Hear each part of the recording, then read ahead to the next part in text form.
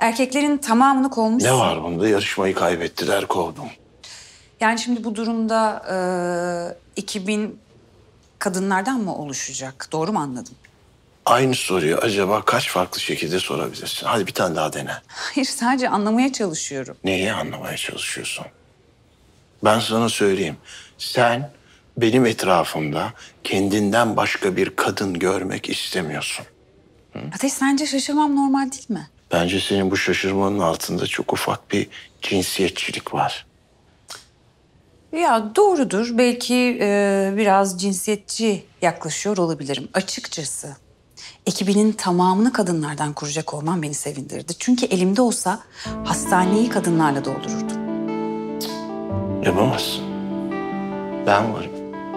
Benden vazgeçemezsin sen. O kadar emin olma. Bu kadar eminim.